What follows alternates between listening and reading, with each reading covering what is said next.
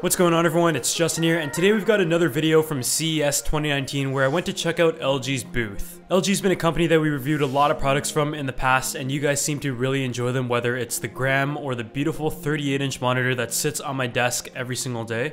This year they announced two new models of the LG Gram, which I'm sure a lot of you are going to enjoy whether you're in video, photo, or are a student. A few new ultra-wide monitors that I can't wait to get my hands on, as well as a Cinebeam projector, which is really impressive in just how good it looks. So make sure you guys subscribe to the channel, drop a like on this video, and leave a comment down below if there's any product you want to see me review first. But a huge thanks to LG for sponsoring this video, and I'll try my best to get a giveaway unit of some of the products released at CES in a future video. If you guys want to learn more about any of the products featured, I'm going to drop a link down below. So beginning with the first product, LG released two additions to the LG Gram line which we reviewed on the channel over the past couple years. The first thing is the LG Gram 2-in-1 and this is a 14 inch computer which I believe is the perfect size in the lineup and it features a full HD IPS touchscreen display and it also comes with a Wacom pen which is really nice to see so you don't have to pay extra for that. The display is protected with Corning Gorilla Glass 5 and it has a 360 degree hinge which makes it work as a tablet or computer. On the spec side, you have an Intel 8th gen processor with up to 16 gigs of RAM, as well as a 72 watt hour battery with up to 21 hours of usage based on full testing. At just 1145 grams, this makes it very easy to take around with you just like the rest of the lineup. And with the Wacom pen having 4096 pressure sensitive levels, this is great for any artist out there or student who just wants to take some notes and have a 2-in-1.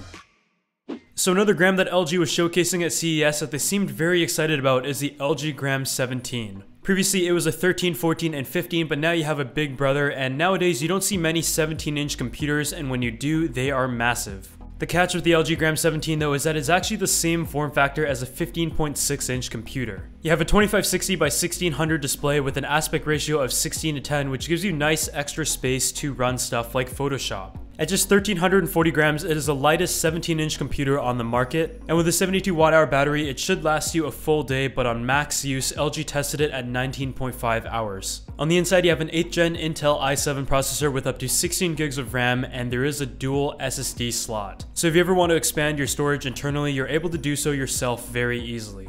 The glass trackpad is large and easy to use and you have the full-size illuminated keyboard and fingerprint sensor on the top right corner. Even at its size, this computer is just as durable as its smaller siblings and it does have a magnesium alloy construction and it's even been tested to withstand 7 military grade resilience factors. Even though in the past, LG has done a great job in offering great performance on a very lightweight computer with good battery life and great I.O., including a Thunderbolt 3 port which is very important to me, the LG Gram 17 presents itself as a really nice workhorse computer that you will want to take on the go and have a nice large display to work with if you're in the artistic field.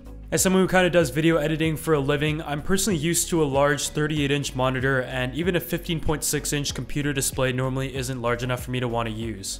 With the great specs, battery life, and lightweight, which are three things that are very important to me, I really look forward to checking out the LG Gram 17 sometime soon. Another product that I saw at LG's booth that got me really excited as soon as I saw it is the LG ultrawide monitor that is 49 inches. I've had a couple ultrawide monitors in the past and my favorite ones have always been from LG so it's nice to see them make a 49 inch variant. This thing has a 32 to 9 aspect ratio with a resolution of 5120 by 1440 which is dual quad HD. Has an ambient light sensor as well as USB Type-C power delivery which I love as a MacBook user, as well as two HDMI ports, two display ports, as well as four USB. There is also two 10 watt speakers built in, but what I like about it the most is the visual quality of LG ultrawide displays. As someone who was once skeptical about using ultrawide displays, after making the jump, I am literally hooked. It's become one of the most important parts of my workflow and with the 49 inch, I think for video editing this will be very cool to try out. Especially for programs that have a horizontal timeline such as Final Cut Pro 10 or Premiere where you might have a hour long video that you're editing that just has a lot of different segments and you want to see the entire timeline and the flow, having an ultra wide display as wide as 49 inches or even 38 inches is very nice.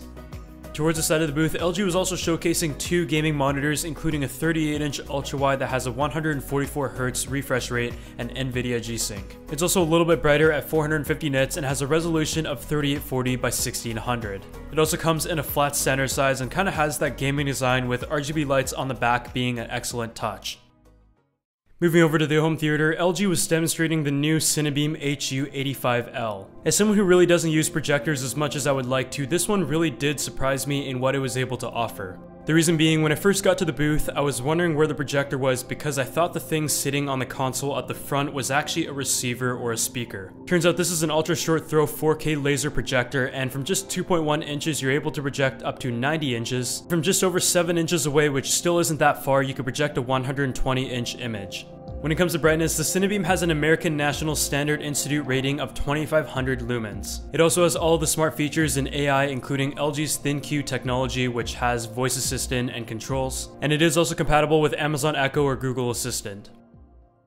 On the audio side of things, LG demonstrated a few different speakers and soundbars that feature Meridian technology. Starting out with the SL9YG soundbar, this is one that has Dolby Atmos support as well as DTS-X. What's cool about it is that you're able to use it or mount it in two different orientations whether it's a stand or a wall mount. The speaker itself is able to know its orientation and adapt accordingly. The soundbar itself is certified to playback high resolution audio with lossless stereo, and I think from the demonstration that I got the coolest part was that being a soundbar which typically kind of has that one dimension sound, it was able to give that immersive surround experience through that one bar. Similar to a lot of other LG smart products that they announced recently, it does have Google Assistant support as well. Moving on to some of the wireless home and portable speakers, the X-Boom line from LG, what they showcased was different sizes and all of which had LED lights which were really nice to see. The PK line is a portable lineup and supports aptX lossless 24-bit audio streaming from services like Tidal. With many different sizes offered, it makes it easy to decide which one is right for you. I also really like the new white color variant that they brought to CES as well. On the smart home side of things, LG also demonstrated the X-Boom AI Smart Display which has Google Assistant and Meridian audio. This is great to have in your kitchen or living room, but most importantly, the audio quality is excellent. If you don't need the display though but want Google Assistant, then there is also the ThinQ speaker which comes in white and black now. But otherwise, thank you guys so much for watching this video where we kind of took a tour around LG's booth at CES 2019. Check out the products that I'm most excited about and I've seen you guys enjoy as well. Whether it's the two new offerings of the LG Gram lineup, which has been very popular, especially for students and travelers, the monitor that's probably going to be living on my desk for the next while once it comes out, a projector that I really want, and that large open wall I have in my living room that still has nothing in it, or for music listeners, a portable speaker that can play lossless audio. If you guys want to learn more about anything else I featured in this video, make sure you check link down below and I'll see you all in the next video.